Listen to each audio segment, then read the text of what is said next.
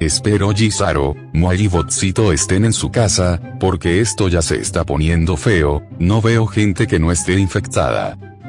Chicos. Están ahí. Hay muertos caminando por todos lados. Voy a entrar, tal vez Botsito ya se volvió zombie. No hay nadie, espero que estén vivos. Iré a buscar más sobrevivientes, ojalá me encuentre a Machica jajajas. Iré a buscar algo donde moverme porque caminando nunca llegaré. Estas cosas están duro de matar, me quedaré sin municiones rápido.